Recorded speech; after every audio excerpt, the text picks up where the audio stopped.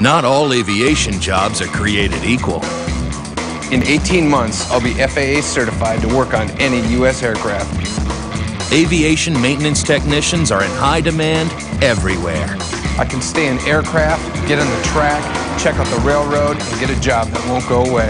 Get certified, start earning real money, and go as far as you want. It's education with afterburners, only at the Aviation Tech Center in Wichita.